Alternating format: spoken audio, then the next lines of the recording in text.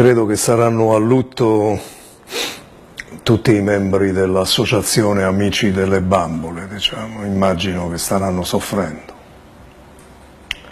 È una vicenda che sta riempiendo le pagine dei giornali e ci sta anche stancando sinceramente. Almeno la mia sensazione è questa, trovare paginate di giornali su questa piedigrotta, su questo circo equestre 5 Stelle che è stato aperto a Roma. E eh, sta diventando francamente insopportabile. La cosa davvero amara di questa vicenda è un'altra, che stiamo coprendo di ridicolo la capitale d'Italia.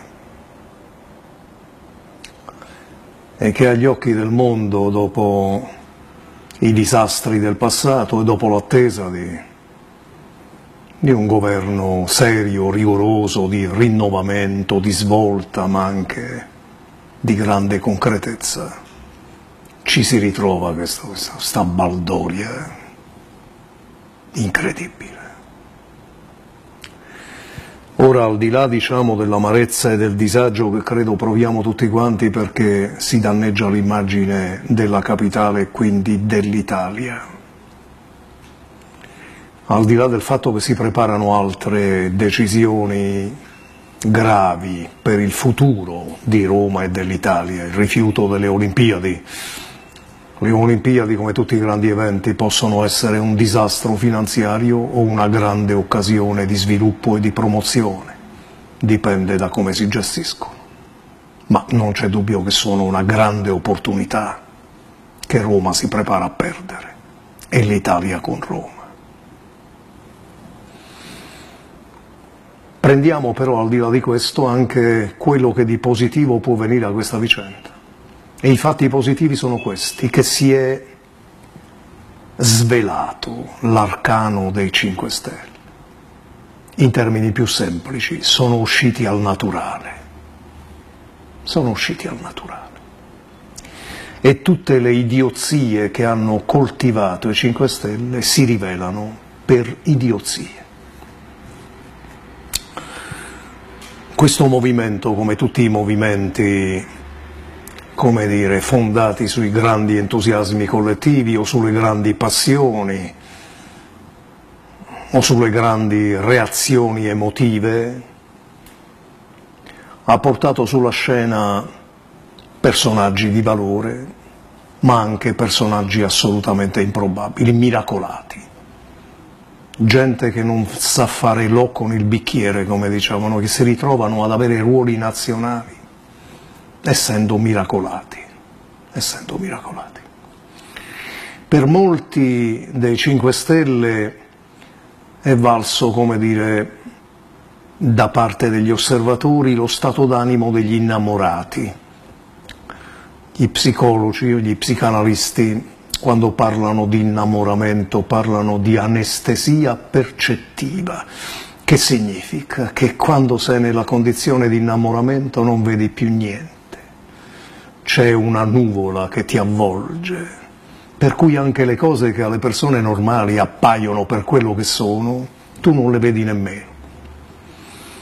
Quando sei nella fase di anestesia percettiva, cioè di innamoramento, Ecco, tu hai magari davanti a te una scorfana e ti pare una principessa. Magari non vedi neanche i, pel i pelacci che ha sui baffi, le varici. Questo vale ovviamente per gli uomini, eh? non vorrei che l'associazione Amici delle Bambole mi, mi, mi facesse un'altra accusa di sessismo. Vale a ruoli invertiti anche per l'anestesia percettiva che può toccare una donna, che magari ha di fronte un uomo che è un perfetto imbecille e che le appare un personaggio. Bene, si sta diradando questa condizione di anestesia percettiva e cominciamo a vedere la realtà per quella che è. Tutto qui, finisce l'innamoramento. Allora questa vicenda porta alla luce che cosa? Primo, l'assoluta mancanza di coerenza da parte di questi signori. si erano impegnati prima delle elezioni a Roma a rendere pubblico l'elenco degli assessori, non lo hanno fatto, hanno mancato alla parola e all'impegno assunto. Lo dico perché una delle giustificazioni che stanno trovando in queste ore il nostro amato conterraneo Luigino Di Maio e il nuovo, il nuovo Di Battista, gli dedicheremo qualche pensiero affettuoso anche a lui, è che sono oggetto i 5 Stelle di un attacco dei poteri forti, Gesù, Giuseppe e Maria, i poteri forti.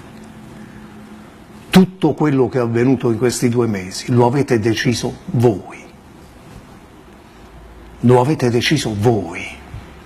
Avete nominato il primo assessore al bilancio, voi si è dimesso. Il secondo assessore al bilancio, voi si è dimesso il capo di gabinetto, l'avete scelto voi, si è dimesso. L'assessore all'ambiente, Dio la abbia in gloria, tale Muraro, l'avete scelta voi.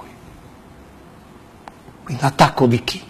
Vi siete autoattaccati, diciamo. Secondo, il rinnovamento. Si rivela che sono portatori non di rinnovamento, ma delle chiacchiere sul rinnovamento. Cioè voi vi presentate come i rinnovatori e riciclate tutto il ceto amministrativo a Roma che stava con Alemanno, niente di meno. E scegliete come assessore all'ambiente una signora rispettabilissima, che è stata però consulente dell'AMA per 10-12 anni, cioè pienamente corresponsabile dei disastri sui rifiuti a Roma. L'avete scelta voi e la state difendendo poteri forti. Quali poteri forti? Rapporto con la giustizia. Vi ricordate quando facevano i balletti in mezzo alle strade? Quando sono andati con relativi panierini a fare il picnic al Campidoglio quando si è insediata la Raggi? Onestà, onestà, giustizia. Vi ricordate quante persone sono state massacrate, offese, ingiuriate? per un avviso di garanzia. Abbiamo scoperto che in relazione agli avvisi di garanzia vi è un'analisi differenziata. Quelli degli altri sono condanne a morte. Quelli propri vanno verificati nel merito. Avete visto come è stata, come è stata maestrina, puntigliosa il sindaco di Roma? Dice, è indagata la Mularo, però bisogna prima leggere le carte, bravo. E per gli altri le carte non, non avevi voglia di leggere le carte. E quando saltavate nelle piazze e riempivate di baffa tutto il mondo intero, eh, allora non le dovete leggere le carte. Dunque una idea del rapporto fra giustizia e istituzioni, come dire, basculare, oscillante a seconda degli interessati. Ma poi soprattutto credo che emerga un doppio dato. I 5 Stelle non sono ancora nati e già sono lacerati al loro interno da 3.000 correnti, come ho già detto, 5 Stelle e 50 correnti. Perché hanno perso un mese per fare la giunta a Roma? E che giunta? Perché litigavano fra di loro. La giunta di Roma è sostenuta da un solo partito, i 5 Stelle. Movimento, non partito. Però le correnti sono come quelle dei partiti. Ci hanno messo un mese per mettersi d'accordo e produrre questo disastro. Quindi, correnti, peggio che andare di notte, e soprattutto, ecco, questo è il dato finale che possiamo ricavare da questa vicenda di Roma una valutazione compiuta sulla qualità, sulla competenza dei dirigenti di questo grande movimento. Ne possiamo, ecco, abbiamo visto emergere un trio, già vi avevamo visti nella vicenda, nella vicenda di, di Quarto, li abbiamo visti appollaiati sui trespoli il Di Battista, il Luigino Di Maio e il Fico. Ecco, oggi si rivelano all'Italia, come dire, nelle vesti proprie. Luigino Di Maio il Chierichetto. Fico il Moscio, ovviamente, e l'emergente Di Battista detto Dibba, il gallo cedrone, diciamo, ognuno ha trovato adesso il suo ruolo in commedia, la sua parte in commedia. Non possiamo rivolgere un saluto al gallo cedrone perché è venuto nel suo tour nel suo tour da centauro anche in costiera malfitana. Ovviamente è chiaro che questo ha preso a pretesto il referendum per andare a farsi i bagni andare in giro, no? si è presentato qui come un centauro, si è tolto il casco, mi dicono aveva la bandana, ma che meraviglia, ma che meraviglia. L'Italia dovrebbe essere diretta da questi signori. Che cosa hanno in comune questi tre giovanotti? Che sono tre mezze pippe, che quando si sono candidati con la loro faccia, non 50 anni fa, 3-4 anni fa, sono stati bocciati tutti quanti. Fico, Campania, vi ricordate? Luigino, a Pomigliano, 56 voti, credo. E Di Battista, dice che se non l'ho letto su un giornale, si era candidato pure a una municipalità di Roma, bocciato pure lui.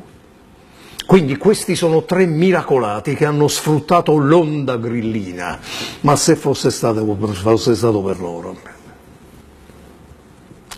allora la cosa davvero drammatica è immaginare che questi soggetti possano avere in mano l'Italia. L'Italia. Questo è quello che dovrebbero pensare i nostri concittadini sulla base di quello che stanno vedendo a Roma. Finalmente. Il velo si è sollevato, la nebbia si è diradata, la condizione di anestesia percettiva si è esaurita e sono usciti al naturale e li vediamo così come sono.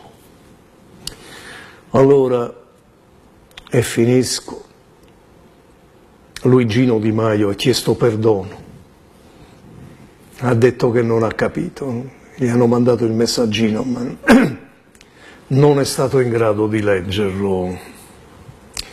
E ha detto perdonatemi, scusatemi, e vi pare che nell'anno del giubileo della misericordia noi vogliamo privare Luigino del perdono? È certo che lo perdoniamo, non lo tendremo più in punizione, a condizione che faccia il bravo.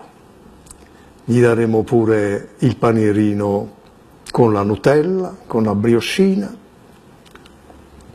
a condizione che non faccia più il furbastro, che si sbottoni anche la giacca, perché per essere uomini di Stato non basta bottonarsi la giacca a due bottoni, questa cosa andava negli anni 50, adesso no, puoi stare sciolto, puoi stare sciolto, e a condizione che la finiscano con questa ipocrisia insopportabile.